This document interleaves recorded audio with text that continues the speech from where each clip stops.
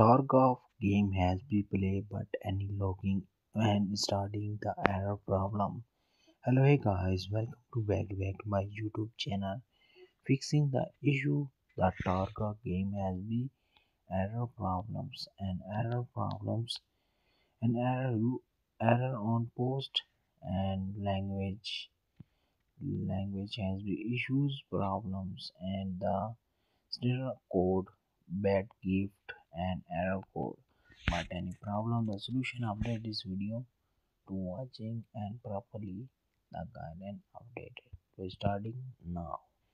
First of all the Tarkov has been updated now. New version that appear and updated now. Stream has been different. Software has been updated completed. Second step the internet connection the checking the internet speed testing and second has been most important of PCs the background app and filing open but any claim now and VPNs and document has been claimed now and off.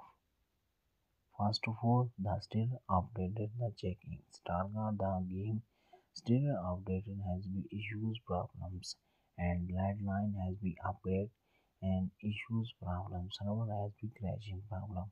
But any access to open the officially the Tarkov team has been shared.